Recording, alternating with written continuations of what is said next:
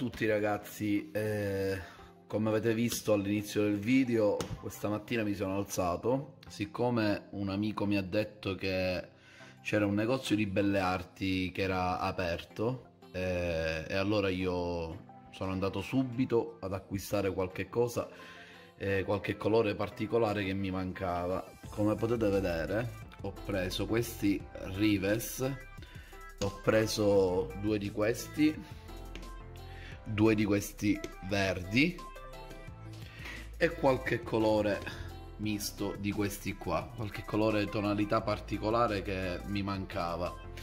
Eh, questi colori rivers eh, non li fanno più quindi mi dispiace perché era un buon prodotto. Eh, quindi ne ho presi due di questi fucsia e due di questi verdi questi verdini così chiari perché sapete io soprattutto con questo colore ci faccio eh, le foglioline eh, quelle diciamo di nuova vegetazione quelle tenere chiamiamole così.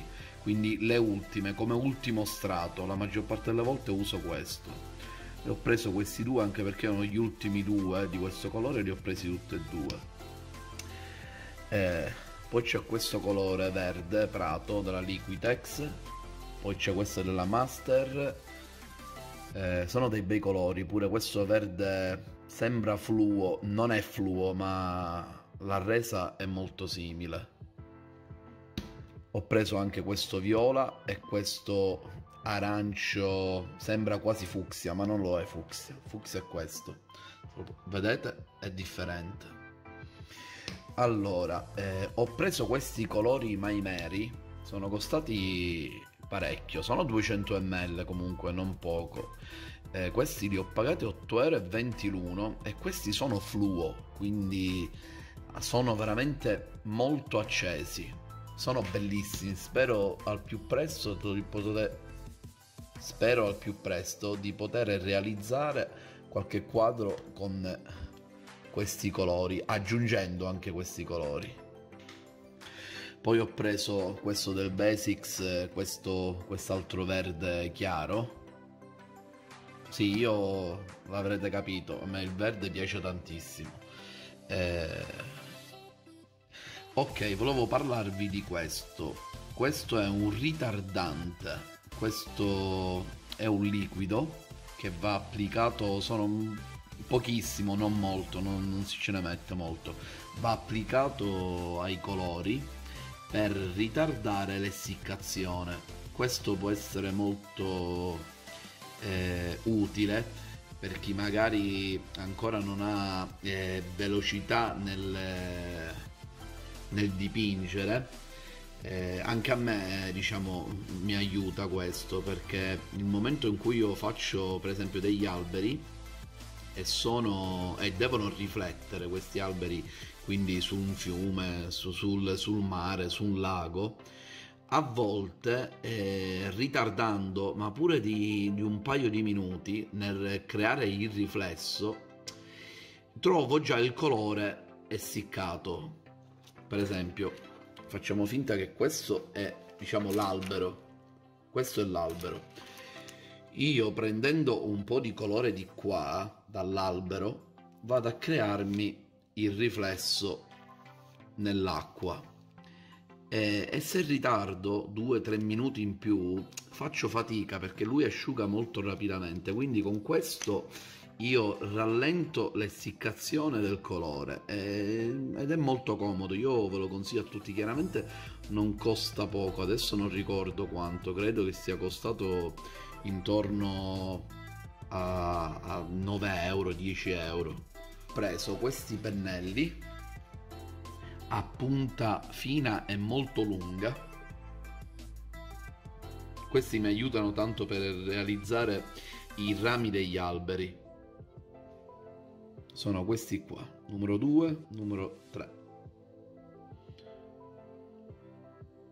la marca è questa.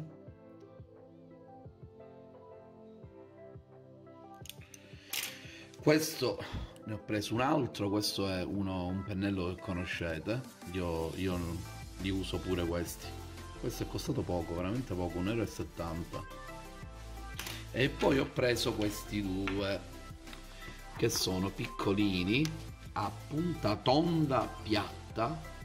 Vedete? Guardate. Questo mi serve a me per creare pure sugli alberi o su qualche cespuglio battendo così leggermente vado a creare eh, le foglioline, i fiorellini, quello che volete voi.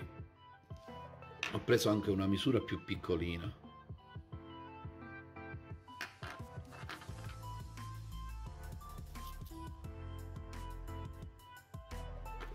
Ok, eh, vediamo quanto ho speso. Non ho speso poco, eh? cioè almeno mm, per me eh, ho speso abbastanza, non so per voi. Eh, comunque mi sono fatto un bel rifornimento.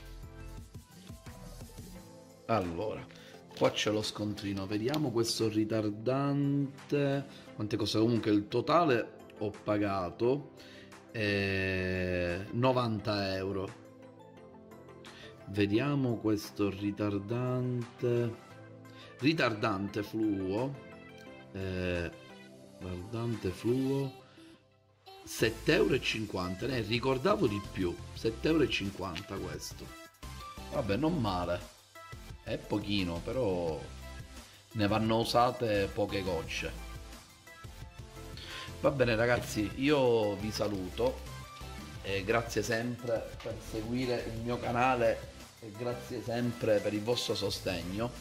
Spero che questo video vi sia piaciuto, ci vediamo al prossimo quadro, diciamo così.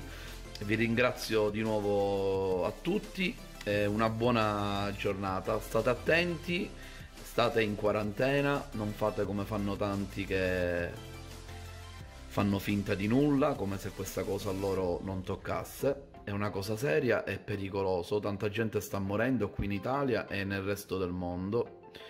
Quindi state a casa, dipingete e allargate i vostri orizzonti. Ciao ragazzi, vi voglio bene, buona giornata a tutti. Ciao!